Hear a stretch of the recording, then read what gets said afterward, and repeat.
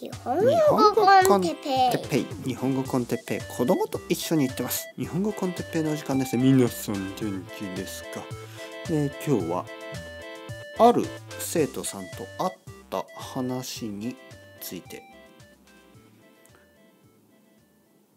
はい皆さんこんにちは、えーこんばんはですね。日本語コンテッペイの時間です。皆さん元気ですか？あのー僕は今あの帰ってきてまああの晩ご飯食べてまあちょっとこれを撮ってますね。子供はもう寝る時間ですね。はい。奥さんとえ子供は僕のえ子供の部屋にいますね。えー僕はちょっとだけねポッドキャストを撮ろうと思った。そしてこれを撮ってます、えー今日はですね、えーある生徒ねロンドンからの生徒さん。と会いました。楽しかったですね。本当に、えーまずですね待ち合わせは3時。3時に待ち合わせてたんですが彼が「先生10分ぐらい遅れます」とメッセージをくれました。あの全然問題ないですね。僕はその時にコンビニの中にいた。ファミリーマート。ちょっと水でも買おうかなと思って、えーだけど生徒さんが10分遅れるということであじゃあ10分時間があるんだったらあのウイスキーも買おう。なぜかそう思ってしまいまあまあいいでしょうたまには。午後3時にウイスキーの小さい瓶を買って悪くないでしょ。でまああの水とあのウイスキー買ってですね。えーまあ、待ち合わせ場所、まあ、駅前ですね駅前の、まあ、ベンチに座って、えーウイスキーを飲みながら待ってたらすぐに来ましたね彼が。はい、そして「あの先生何を飲んでますか?」って言うから「あウイスキーです」と言って「ええー!」まあまあまあまあまあまあいいでしょ別に自由ですよね。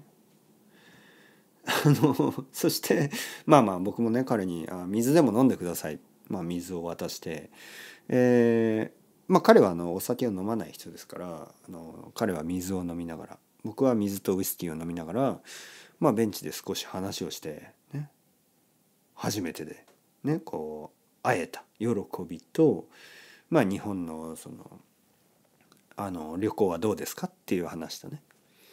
その後あのカフェに行きました。カフェに行ってまあいろいろな話をしましたね。はい。いろいろな話。まあ何の話かっていうとまあいろいろな話としか言えないですね。まあいろいろな話ですよ。あのいろいろな、ね、コーヒーを飲みながらいろいろな話をして。彼は僕にあの本をくれました。英語の本。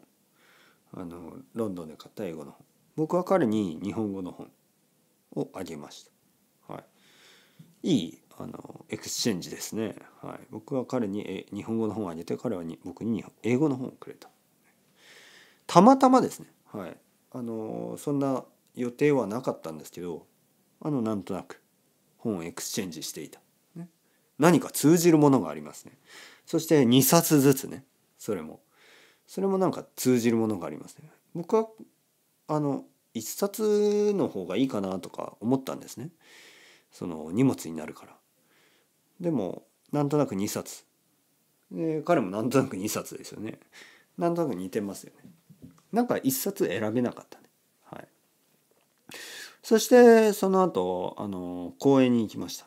公園に行っていろいろな話をした、うん、公園を歩きながら。そしてベンチに座ってどんな話をしたかというとあんまり覚えてません。でまあ覚えてるような覚えてないような、ね、まるでそれは夢の中のような、はい、これが今日話話したかったことですね。ポッドキャストで。これはちょっと不思議なことを今から言いますがあの例えばですよ。生徒さんと実際に会う。ね例えば僕は彼と3年半ぐらいスカイプでレッスンをしてましたね。ほとんど毎週1回えー、1週間に1回1時間のレッスン、ね、まあレッスンといってもあの日本語でたくさんのいろいろなことを話す。まあ彼は上達しましたよね。もちろんね実は3年前から結構悪くないレベルがあったんですけどやっぱり成長したかな。随分随分あの今は日本に留学したことがある人ぐらいのあの日本語力はありますよね。であのまあまあ3年半ですよね3年半の後に実際に会うんですけどこれがねなんかその現実に会うっていうのがちょっとこう不思議な感じね。何が不思議かっていうと実はですねあのスカイプのそのレッスンねオンラインのレッスンがもっと現実なんですよ。そしてこの日本旅行の間にちょっと会うっていうのはどちらかといえばちょっと夢の中みたいな感じがするんですよね。いわゆる僕たちにとって日常はこのまあオンラインの世界なんですよね。この例えばポッドキャストを皆さん今聞いてますね。これ日常的でしょ？日常なんですよ。そしてまああの僕のレッスンを取ってくれている生徒さんたちとオンラインで話すのはもっと日常なんですね毎週のこと。で実際東京で僕に会うっていうのはどちらかといえば非日常。なんか非現実的な ことなんですよね。まるで夢の中みたいな。これが面白いですよね。実際に会う、ね、現実に会うっていうことがどちらかといえば夢みたいで。あのまあオンラインっていう場所で毎週話していることがどちらかといえば現実のようなね逆なんですよね。はい、普通はまあ実際会うっていうねあの僕のリアルな僕生身の僕人間の僕に会うそして握手をして「先生こんにちは」それが現実と思うでしょ？でも生徒さんたちはほとんどあの遠い国から日本に来ているわけでなんかまあ時差ボケもあるしちょっと夢みたいな感じでしょ？